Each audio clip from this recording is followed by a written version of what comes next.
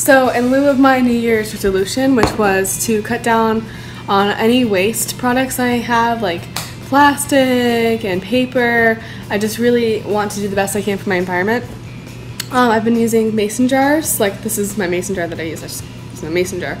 Um, and I want to take it to Dunkin' Donuts right now to see if they can fill it up. So this is not hating on Dunkin' Donuts, I love Dunkin' Donuts.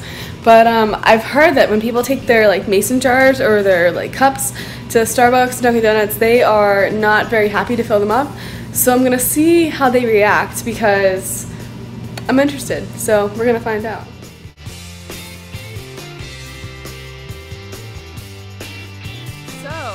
You are following along, you still want to know how my social experiment turned out.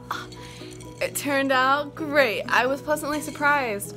Um, as someone who's always been into the environment and raising awareness for recycling and reusing and reducing waste, I really feel like I should do better. Um, but basically, I walked into Dunkin' and I was like, hey, would you guys fill up my mason jar with a, a small cold brew? And she was like, oh yeah, yeah, no problem.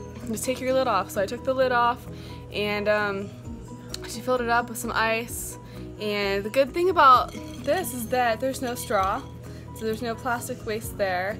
There's no cap or top or anything that I'm gonna have to recycle.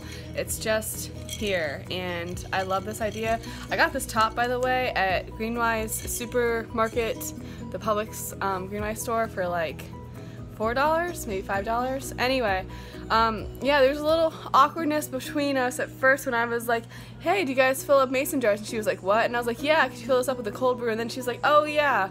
Um, it ended up being like $3.50, so almost $4. But cold brew for me is better with my stomach because it's less acid and um, I think it tastes better too. So might be a little more expensive, but if you're gonna string for it, just go for it yeah, so Dunkin', I'm proud of you, and let's raise awareness. It really wasn't hard, and once you realize that you can break the barrier and you can ask for them to fill up your cup or your mason jar or whatever, you know that you can keep doing that and you don't have to worry about having waste or having an extra cup because I always have like 10,000 things with me, so having to bring an extra cup with my backpack and my purse and all that stuff is just a, a nightmare.